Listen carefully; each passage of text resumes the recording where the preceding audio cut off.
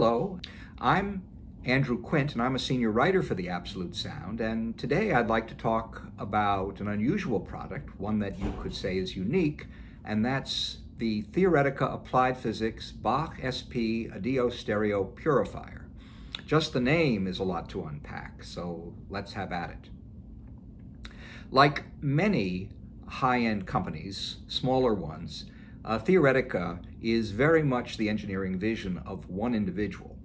And that individual is Edgar Choueiri.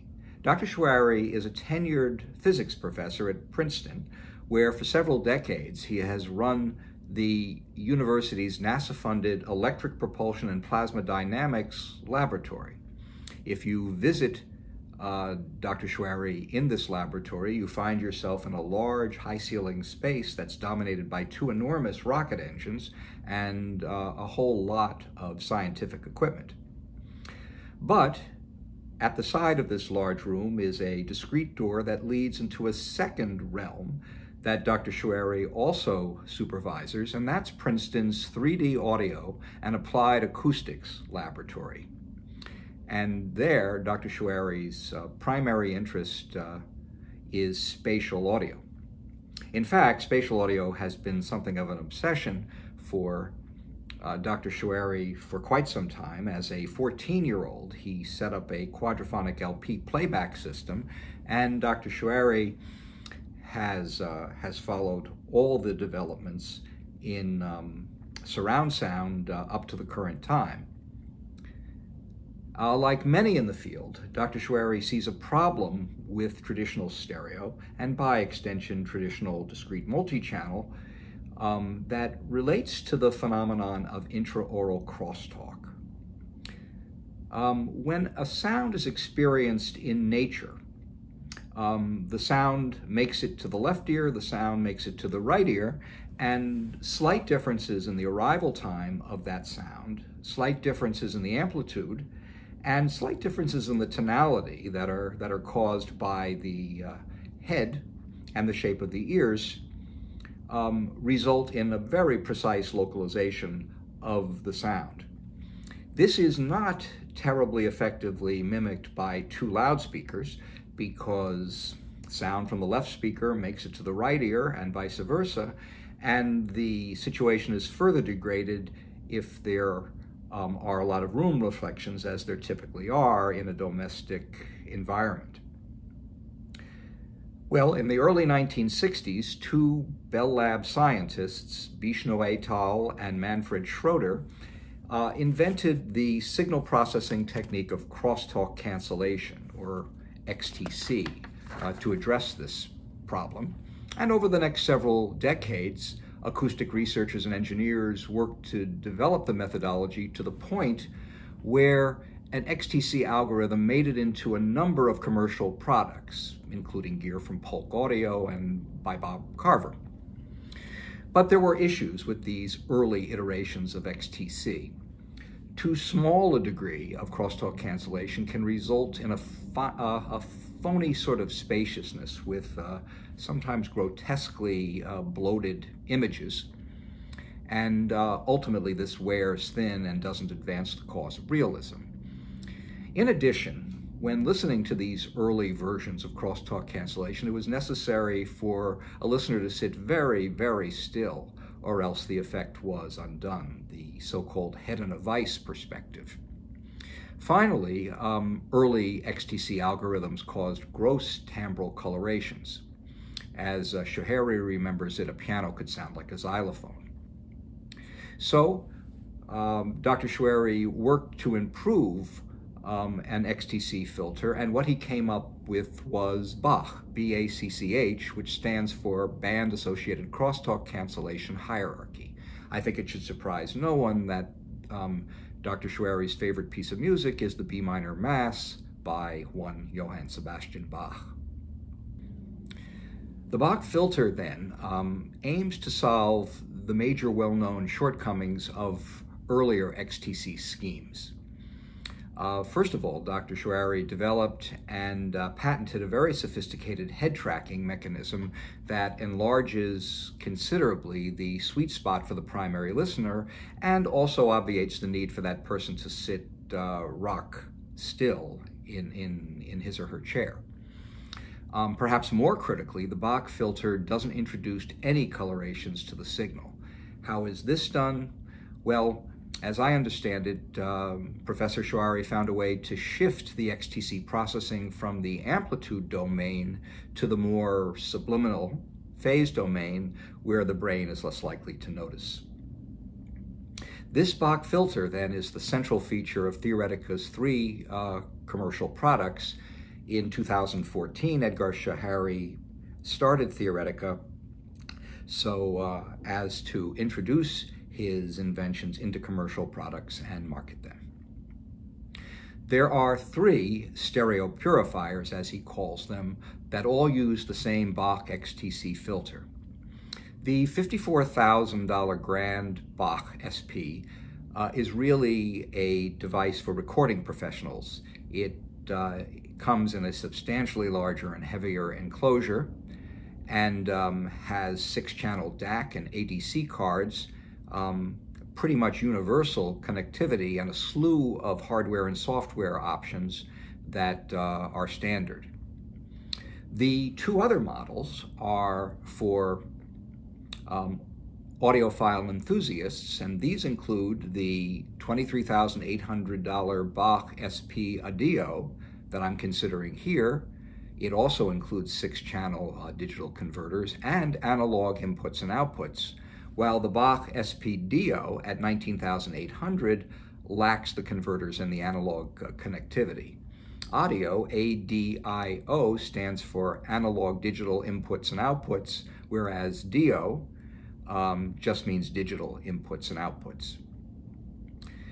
The uh, device is sourced from a number of places. The beautiful sculptural aluminum chassis, which is available in either a silver or black matte finish, is manufactured for Theoretica by MSB Technology in Germany. Um, the linear power supply within uh, also comes from MSB Technology. Uh, Dr. Choueiri um, is not forthcoming in terms of who um, makes the uh, digital converters, but he uh, does allow that uh, they are uniquely configured for his product, that they are of the sigma delta type, and they operate at a resolution of up to 24-bit 192 kilohertz. Um, his machine um, has its proprietary algorithms and convolution engines run by a powerful multi-core CPU with 64-bit audio processing. All of the BACCH SP models come with a dedicated iPad that has the extremely user-friendly user interface uh, loaded in. You also get um, a, a, set of small microphones that go in the ear canals to take the initial measurements. These microphones are made in Dr. Choueiri's New Jersey lab. Um, and um, you also get a webcam, which is necessary for the head tracking mechanism to function. Setting up the BACCH SP is remarkably quick and easy. With the iPad in his or her lap, the user accesses the Make Filter screen on the iPad, um, one of three screens that it's ever necessary to use with any frequency, and indicates whether the filter is being created for use with headphones or, or loudspeakers and whether or not head tracking is desired. Um, those miniature microphones are inserted in the ears with uh, some soft plastic covers over them. Three sizes are provided, and um, you press the appropriate button, and a reassuring voice comes out through your speakers and tells you exactly what to do. Uh, what happens is that there is a full frequency sweep emitted by your speakers um, first the left channel and then the right channel while the listener sits in one of three positions. First of all, in the sweet spot, looking forward. Uh, then he or she leans about two feet to the left, and then a couple of feet to the right. These six sweeps uh, take under two minutes to accomplish, and that's it. You remove the microphones from your ears, and you don't have to do this again unless there's a change in your loudspeakers or the positioning of your loudspeakers, uh, the listening position itself, or something else major in the listening environment, like window treatments or a new piece of furniture.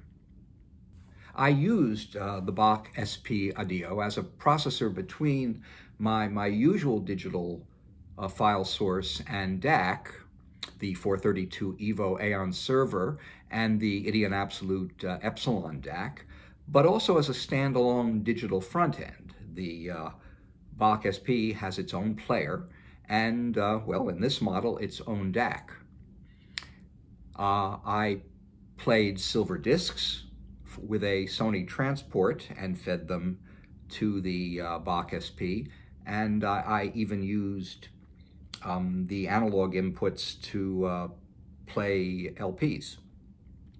Two comments to make before addressing the specific spatial aspects of the BACCH's performance. Uh, first of all, as promised, the BACCH uh, XTC filter introduced absolutely no colorations or timbral distortions to the reproduced sound. It's very easy to compare um, the filter in and out of the, uh, the data stream by simply uh, pressing a button on the iPad and um, there, there were no colorations introduced. The second comment to make is whatever that DAC is in the BACCH SP, it's, it's quite a good one as uh, switching back and forth between the BACCH DAC and um, my reference stack, uh, I really could not hear an appreciable uh, difference, uh, despite the fact that the uh, DAC alone, my reference DAC alone, um, costs twice as much as the entire uh, BACCH product. Well then, spatially, what does the BACCH SPXTC filter bring to the table? Well, uh, Dr. Choueiri has written about uh, six or seven different aspects of spatially, spatiality, and there are four that I found to be especially relevant as I uh, evaluated this component. The first is envelopment. And with the BACCH SP, depending upon the source material, the sonic image moved out in front of the two speakers and wrapped around the sides and well out into the room, um, well outside the la lateral boundaries of the Magicos.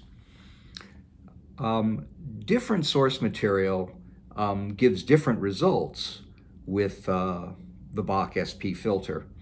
As might be expected, binaural recordings, dummy head recordings, um, perform most dramatically, followed by um, purist recordings of uh, unamplified music, classical and jazz, followed by uh, less perfectionist recordings, and then followed by more typically what Dr. Choueiri calls concocted um, pop and rock recordings.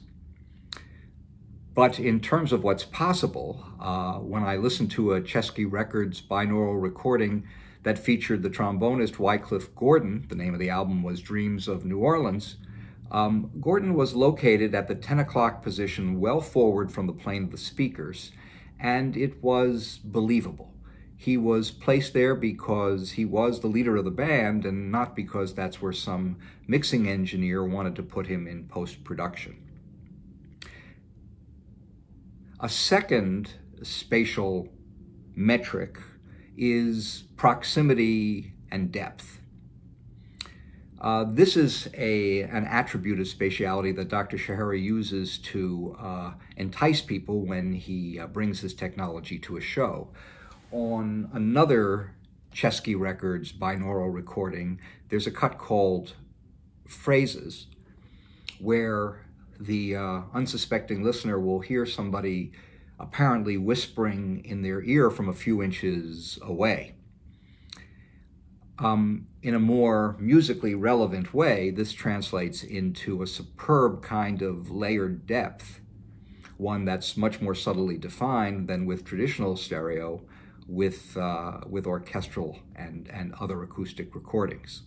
Another spatial metric is reverb, and uh, to listen to another classic orchestral recording, uh, The Three-Cornered Hat by Manuel de Falla as recorded by Bert Whyte for Everest in 1960, uh, the work begins with a series of very aggressive sounds, uh, castanets, stamping feet, some testosterone-fueled yells, timpani thwacks, and a uh, bellowing soprano.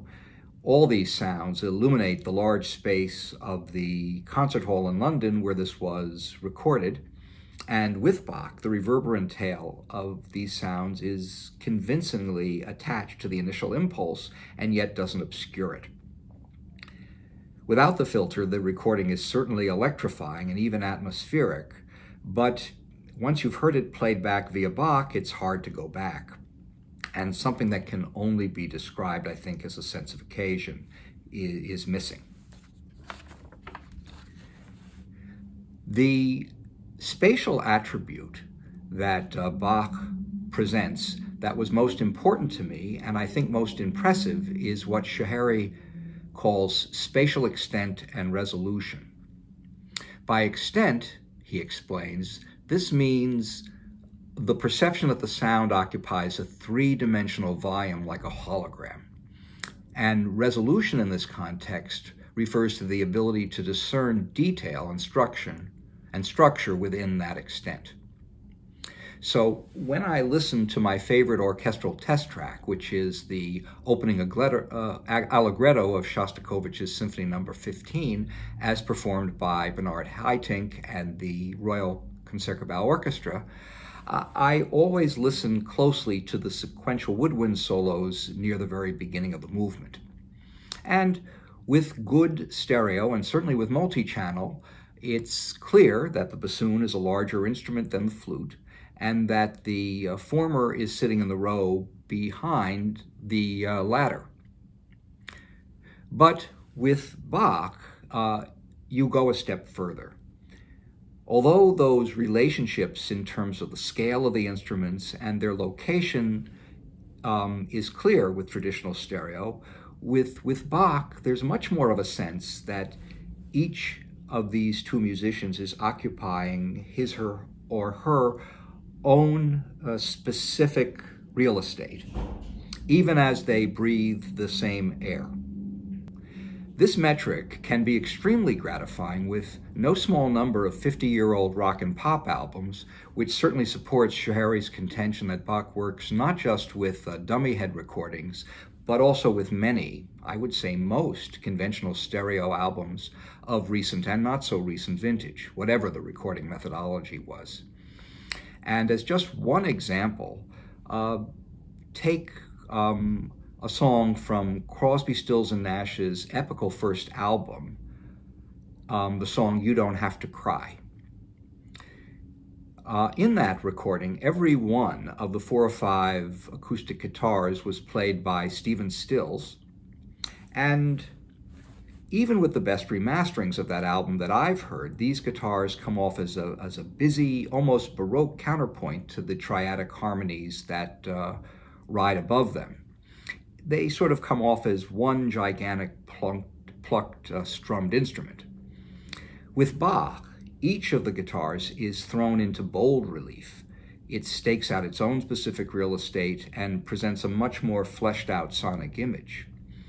It also becomes really quite obvious that Stephen Stills arrived at that recording session, which was the very first for these three musicians, with a clear idea of how these ingeniously interlocking guitar riffs would come together as more than the sum of their parts.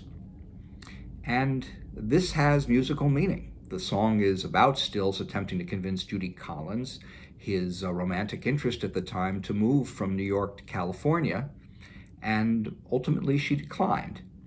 And with BACCH, all those individualized guitars become that many more voices talking past one another, uh, a symptom of a doomed relationship. I think it's natural to focus on the processes processor's clarification of individual instrumental lines and the physical disposition of the performers, but I should also point out that crosstalk cancellation, as executed by the BACCH filter, can elucidate harmonic detail as well. There are some composers, I'm thinking of Brahms and Richard Strauss or Oliver Messiaen, who compose music for orchestra with a characteristically dense uh, texture. And these recordings can seem murky, which isn't at all the case when you hear this music played in a concert hall. BACCH can improve upon that artifact of stereo playback to a substantial degree. It works as well with complex vocal arrangements in popular music genres. Uh, for example, um, compare Donald Fagen's extravagant harmonies on the title track of Morph the Cat with the filter on and off, and um, by all means enjoy uh, some of Queen's most operatic moments to the fullest.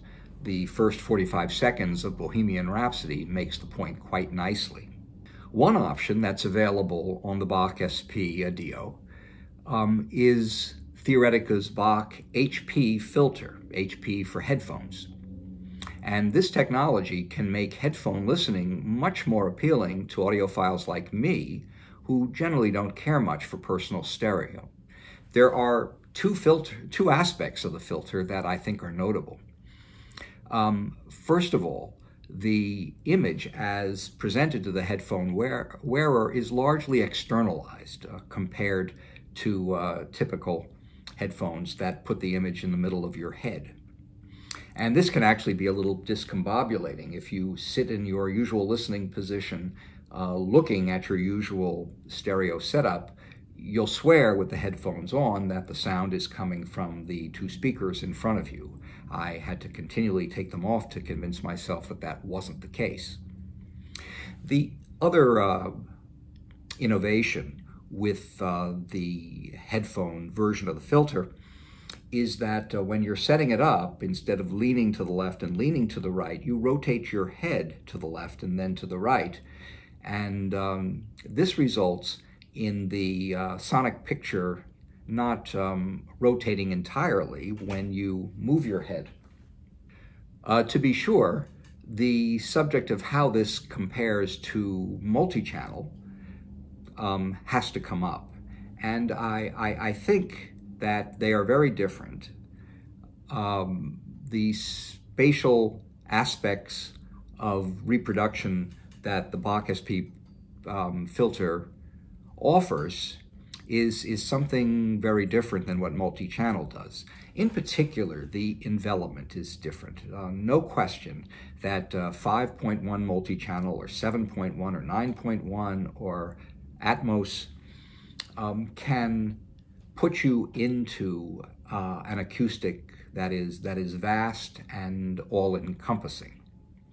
With BACCH SP, it's a different kind of envelopment. Uh, individual images are sort of placed in your room. It's very much more uh, they are here rather than you are there. In terms of those other parameters, uh, I, I, think that uh, layered depth, as I said, is um, more realistic with BACCH SP, and uh, reverb gets the edge as well. But it's the fourth parameter that I discussed, spatial extent and resolution, where uh, BACCH SP leaves traditional multi-channel behind. And as such, uh, I think BACCH SP is a strong consideration for two-channel listeners who sense that there may be something missing in the two-channel recordings that they collect. In fact, I think that's what's most exhilarating about this product. The idea that there are tens of thousands, hundreds of thousands, millions perhaps even, of recordings out there that uh, contain information that's been hidden to this point, waiting to be revealed by the, by the BACCH filter. At, at the current time, uh, Theoretica only has a few dealers in the United States, but uh, Edward Choueiri is ubiquitous at audio shows these days. And uh, if you find yourself at one where he's doing demonstrations, I, I urge you to take it in. Well, thank you for hearing me out. This is Andrew Quint, senior writer with The Absolute Sound. Hope to see you the next time.